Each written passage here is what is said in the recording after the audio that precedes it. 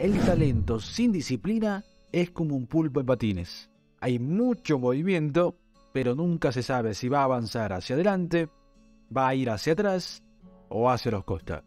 En el fútbol boliviano generalmente salen jugadores normalitos. Lo dije en un anterior video, sin embargo hay excepciones. ¿eh? Hay excepciones, hay jugadores que salen buenos, hay jugadores que eh, con poco tiempo en el profesionalismo dentro del fútbol boliviano se destacan, pero aquí hay una gran cuestión ¿eh? y que es determinante para el desarrollo de no solo de los futbolistas, sino de las personas en general para poder alcanzar eh, grandes cosas dentro del rubro en el que se, se desempeñan. Dentro de los futbolistas viene a ser el caso de la disciplina. Hay jugadores que se rompen el lomo todos los días para constantemente mejorar ciertos aspectos futbolísticos, técnicos, tácticos.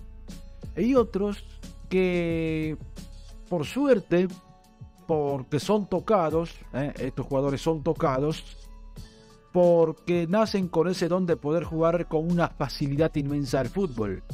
Son habilidosos, tienen velocidad, tienen dominio de pelota, prácticamente tienen cualidades de, de, jugador que los hacen jugadores buenos ¿eh? en poco tiempo, sin mucho trabajo. Pero ¿qué sucede?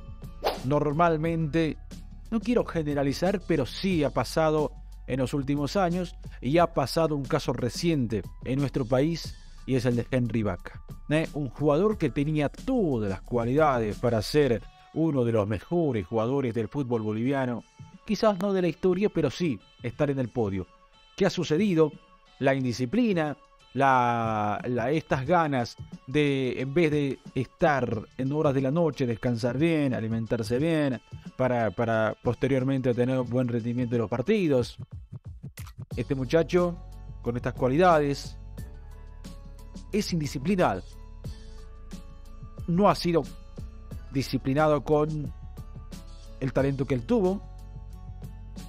No se ha puesto a pensar en los efectos que el salir de joda, como se lo dice vulgarmente, tiene estas cuestiones de que en algún momento te puedes arrepentir. ¿eh? De desperdiciar la chance de que muchos, de que muchos sueñan el poder llegar a primera, el poder consagrarse, el poder hacer que la hinchada crea en vos, el ir a un equipo como promesa, el tener la chance incluso de salir del país para jugar al fútbol. Y obviamente ganás mucha plata. Obviamente el fútbol te da mucha plata cuando juegas a nivel profesional.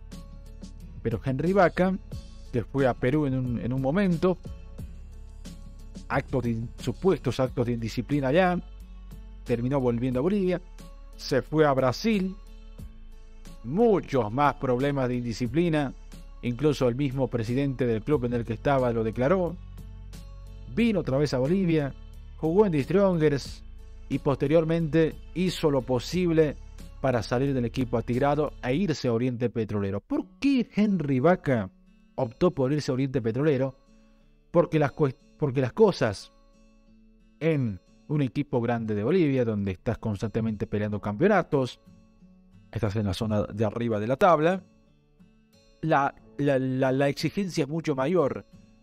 Entonces Henry Vaca digo, no, me voy a Oriente Petrolero, de alguna manera vamos a pelear a mitad de tabla para entrar a un torneo internacional, pero me van a dejar de hinchar las pelotas. ¿Se entiende?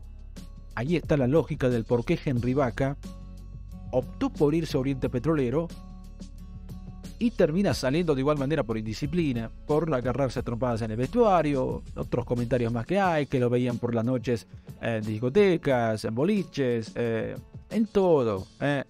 Ahora, uno no puede venir aquí y opinar lo que tiene o no tiene que hacer un jugador porque a fin de cuentas son personas independientes, a fin de cuentas son personas independientes que pueden hacer lo que se les cante. Pueden hacer lo que se les cante. Pero uno, desde un lugar, si querés, periodístico, comunicador, que llega a mucha gente, trata de hacer más que una crítica, creo yo que en este video estoy, tratando de hacer una reflexión. para que no solamente futbolistas jóvenes, sino cualquier persona que se dedique en cualquier ámbito dentro de su trabajo, una empresa, peluquero, vendedor de zapatillas, vendedor de ropa, vendedor de jugo, prácticamente todos los rubros que si no tienen disciplina en lo que hacen, no van a llegar lejos. Va por ahí, ¿eh? va por ahí con este ejemplo de Henry Vaca, prácticamente una promesa del fútbol boliviano. Hoy en día sin equipo, hoy en día sin equipo, se habla de que irá a Wilterman, eh, no podrá jugar seguramente hasta junio, cuando se puede inscribir otra vez al nuevo libro de pases, salvo alguna excepción por ahí que no me animo a tirarla, pero la realidad es esa. La verdad que un desperdicio de talento. Es un desperdicio de talento. Imagínense, ¿eh? ustedes, ustedes del otro lado, que sean buenos para algo, que sean geniales para hacer cualquier cosa, jugar a la pelota, cantar, eh, no sé, un montón de, eh, de, rubros que hay. Sean buenos. Consigan, se consagren por un momento, por un tiempo y sean indisciplinados y los terminen echando. Los terminen echando. ¿Y cómo te vas a sentir porque seguramente Henry Vaca piensa que es el momento, es joven, puede salir con mujeres, hacer lo que se le cante. Pero después la, cuestión va a ser más allá. Porque la vida del futbolista es corta, la vida. Bueno, en Bolivia esta, esta carrera está alargada, te juegan hasta los 45 años, pero en otros países los jugadores profesionales llegan a un límite donde ya no dan más y terminan retirándose a los 35, 36. Pero Bolivia por ahí se prolonga un poco más, aunque ya obviamente el sueldo no, es mucho. ¿eh? Y más allá de que tengas un sueldo exquisito o no, la verdad que por ahí te entristece esta situación. ¿eh? Porque yo un montón de veces lo, lo banqué a Henry Vaca cuando hizo buenos partidos con la selección boliviana. Lo pedí incluso para la última convocatoria donde Gustavo Costa no lo llevó. ¿eh? A la fecha FIFA de marzo Gustavo Costa no lo llevó ya a la selección a Henry Vaca. Y ahora deriva en esto. Prácticamente Henry Vaca, si no se pone las pilas, tiene 25 años, si no se pone las pilas ahora para poder hacer un giro rotundo de 180 grados, si iba en dirección allá, ahora tiene que ir en dirección al otro lado, en cuanto a indisciplina, ¿eh? o disciplina, si usted quiere encararla por esa manera. Porque caso contrario, es muy difícil que algún director técnico algún director técnico de cualquier equipo profesional, ¿eh? me hago cargo de lo que digo, quiera llevar a una persona que de cierta manera sabes que dentro de la cancha puede ser un jugador extraordinario, puede cambiarte la cara del partido si quieres. Pero, pero, ¿qué vas a hacer cuando esta persona empiece con estos actos de indisciplina y es más, empiece a contagiar al resto del grupo? Al resto del plantel si querés. Va a ser muy complejo que algún director técnico lo quiera llevar a Henry Vaca. Va a ser muy compleja esta situación. Pero, pero, puede pasar que va a ir a equipos bolivianos y ahí, y ahí va a andar. De equipos seguramente de media tabla para abajo porque ahora... Y debería ser así.